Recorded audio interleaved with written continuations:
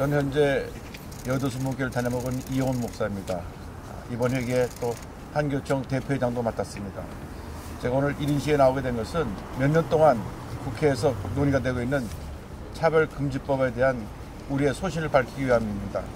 차별금지법이 결국 우리 대한민국에 정해져 있는 인권을 존중하는 23개의 기본 인권법이 있음에도 불구하고 새로운 독소장을 만드는 역차별법이기 때문에 저희들은 절대 반대합니다. 저희들은 그들의 인권을 차별하지 않습니다. 그분들의 인권을 존중합니다.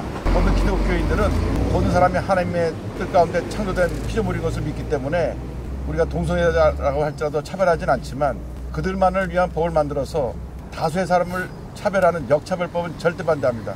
그들이 주장하고 있는 차별금지법은 그들만을 위한 소수의 법이고 그리고 과도한 주장을 하고 있는 법을 담고 있기 때문에 이로 인해서 이 법이 통과되면 다수의 사람들이 피해를 보고 또 여러 가지 많은 어려움이 생 것은 그래보듯 뻔합니다. 그래서 저는 이를 앞장서서 차별금지법을 절대로 상정되어서도 안 되고 이러한 법이 제정돼도 안 된다는 것을 강하게 주장하는 바입니다. 또한 이 차별금지법은 우리나라 5천년 전통문화 역사에도 위, 배되는 것이고 또 동성 간의 결혼까지 이것을 이끌어내는데 지금 미국 바이든 대통령이 동성 결혼에 대해서 사인을 했지만은 이것은 우리 대한민국의 처한 현실과는 전혀 다른 상황입니다. 우리 대한민국은 가족의 가치를 존중하고 또 남자와 여자가 한 가족을 이루어서 자녀를 낳고 그래서 행복한 가족을 이룬 것이 우리 한국의 가족에 대한 기본적인 정의이고 모든 국민들이 그런 것을 통해서 행복함을 누리고 있기 때문에 그런 전통문화에도 반대되고 또 기독교 가치관도 반대되고 지금 현재 저출산으로 절벽을 맞고 있는 대한민국의 현실과도 정반대된 역행상을 가지고 있기 때문에 절대 반대하는 바입니다. 한국 사회가 알게 모르게 지금 교과서나 또 드라마나 이런 문화 콘텐츠들 속에 동성애를 지지하고 동성 결혼을 찬성하는 그런 내용들을 담고 있어서 특별히 많은 청소년들이 정체성을 잃어버리고 잘못된 판단과 결정을 할 수 있는 그런 위험에 노출되어 있습니다. 그래서 이건 아예 처음부터 이것은 잘못된 것이라는 것을 밝히고 본인들이 갖고 있는 성적 지향이 전 국민의 성적 지향이 될 수도 될 수 있는 것도 아니고 그들의 소수 의견은 존중하지만 소수 의견 때문에 다수 의견이 피해를 보고 또 다수 인권이 피해를 입는 그러한 차별법은 절대 반대하고 또 이런 것이 절대 제정되려고 상정되거나 또 시도가 되는 것은 있어는 안 된다고 생각합니다. 지금 이제 성탄절이 곧 눈앞에 다가왔는데 올 한 해 참 여러 가지 사건 사고가 많았습니다. 코로나19가 계속되고 또 10월 29일 이태원에 참사도 있었고 우크라이나 전쟁도 계속되는 이때에 우리 기독교인들은 절망을 얘기 않고 희망을 얘기합니다. 이 땅에 평화로 오신 예수님께서 이 모든 절망의 상황 속에 참된 기쁨과 평화를 주시고 우리 주신 믿음의 힘으로 신앙의 힘으로 모든 어려움을 극복하고 다가오는 새해 반드시 좋은 일이 있을 것을 믿습니다. 어, 저희들은 우리 대한민국이 다 그리스도의 사랑 안에서 하나가 되고 서로 협력하고 화해하고 힘을 모아서 위대한 대한민국을 건설할 것을 간절히 소원합니다. 그래서 어, 특별히 우리가 이 동성애라는 것 때문에 편가르게 하지 말고 우리 서로가 서로에 대한 입장을 존중하면서 그러나 잘못된 것에 대해서는 분명히 잘못을 지적하고 바른 길로 갈 수 있도록 선도하는 것이 중요하다고 생각하고요. 예, 이 사회에 만연한 편가르기는 예, 이제는 새해는 없어졌으면 좋겠다 하는 생각이 듭니다. 한교총회에서 그 이슈를 가지고 이제 여러 전문가들을 모아서 또 이러한 부분에 대해서 토론도 하고 또 국회의원들과 함께 정책 입안할 때 무엇이 문제가 되고 무엇이 바른 길로 가는 것이 될 것인가도 같이 의논하는 시간을 가지려고 하고요. 특별히 내년에는 또 한교총에서 우리 대한민국의 출산 절벽이기 때문에 저 출산 문제를 해결을 위해서 다각적인 토론을 지금 하려고 준비하고 있습니다.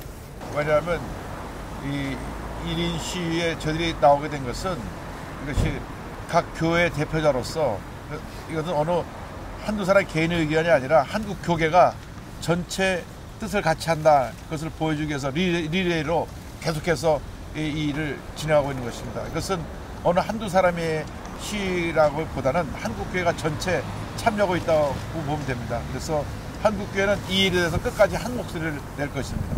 그러나 오해되지 않, 않게 돼야 될 하나의 상황은 우리가 그들을 차별하는 게 아닌데 자꾸 차별금지법을 하니까 사람들이 그 단어만 들을 때는 차별하는 걸로 착각하게 돼 있어요. 그러니까 용어 자체를 그들이 묘하게 트릭을 쓴 겁니다. 그래서 역차별법이라고 우리는 말하거든요. 그러니까 역차별법은 전혀 진행되면 안 됩니다. 우리는 절대 차별하지 않습니다. 왜냐하면 하나님께서 다 창조하신 피조물인데 우리가 왜 차별합니까?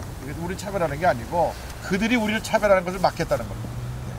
우리가 남성이나 여성이나 가진 자나 못 가진 자나 노인이나 어린이나 절대로 차별하지 않게끔 우리 법으로 말씀하신 대로 23가지로 이미 규정되어 있거든요. 그런데 유독 이 차별금지법은 그들만을 위한 법입니다. 그래서 이것이 미칠 악영향, 그 폐해가 너무 심하기 때문에 그걸 막고자 하는 것이고요. 실제로 대만에서 이 법을 통과했다가 아주 나라에 큰 혼란이 왔습니다. 최근에 이제 아시아에서 대만 통과를 했는데요. 그래서 그런 전철을 우리가 밟으면 안 되겠다.